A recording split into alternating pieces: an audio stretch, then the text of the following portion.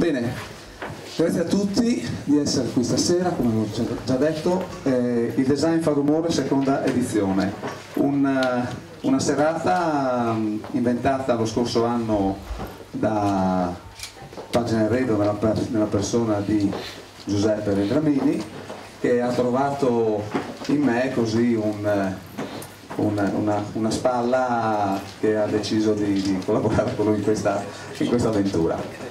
Eh, io non, non, non, vi tolgo altro, altro tempo, passo la parola a Giorgio De Ponti del Politecnico di Milano che farà da moderatore e ci eh, farà conoscere i designer che questa sera partecipano a questa serata. Grazie a tutti.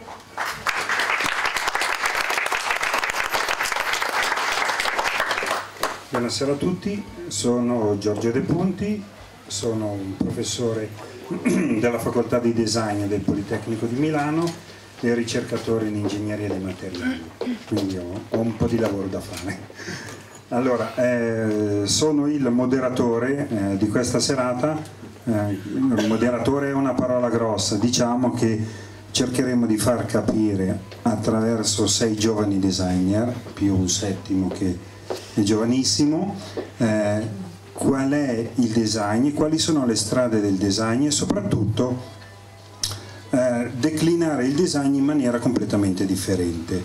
Avremo degli approcci eh, dall'infanzia fino alla, alla, lettura del connubio tra design e arte, avremo delle situazioni eh, materiche, avremo delle situazioni di studio e di comprensione del design completamente diverse ma tempo, al tempo stesso eterogenee tra le varie fasce. Quindi voi avrete già visto modo di uh, vedere l'esposizione, uh, avete visto che ci sono delle situazioni completamente differenti so, sia nella forma che nella sostanza. Ci sono degli arredi completamente differenti soprattutto a livello di pensiero, a livello di design e a livello di estrapolazione eh, del pensiero del designer in una forma concreta. Non, non, perdo altro tempo a tediarvi con lunghi discorsi e inizio alla presentazione dei vari designer.